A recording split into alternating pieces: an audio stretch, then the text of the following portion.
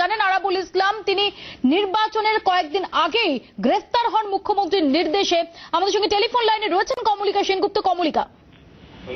দেখো, মফিয়া যেটা জানা যাচ্ছে, সেটা হচ্ছে সতেরো নম্বর পঞ্চায়েত সমিতি, যার দিকে গোটা বাংলার নজর ছিল, সেখানে আরাবুল ইসলাম দু হাজারের বেশি কিছু ভোটে তিনি জয়ী লাভ করেছেন এবং অত্যন্ত গুরুত্বপূর্ণ এটা কারণ গোটা রাজ্য তাকিয়েছিল এই সিটটার দিকে। সতেরো সমিতি ভাঙর বলে রাখে এই পঞ্চায়েত সমিতিটা অত্যন্ত গুরুত্বপূর্ণ ছিল কারণ এখানে অন্যান্য পঞ্চায়েত সমিতি বিনা প্রতিদ্বন্দ্বিতায় তৃণমূল কংগ্রেস এমনিই জয়ী ছিল। সেখান থেকে দাঁড়িয়ে আরাবুলের যে লড়াই আরাবুল ইসলামের কন্টেস্টটা খুব গুরুত্বপূর্ণ ছিল এবং আরাবুল ইসলাম ধন্যবাদ কমলিকা। কমলিকা সেনগুপ্ত আমাদের জানালেন আরাবুল ইসলাম তিনি জয়ী হয়েছেন পঞ্চায়েত সমিতি আসনে ভাঙড়ে।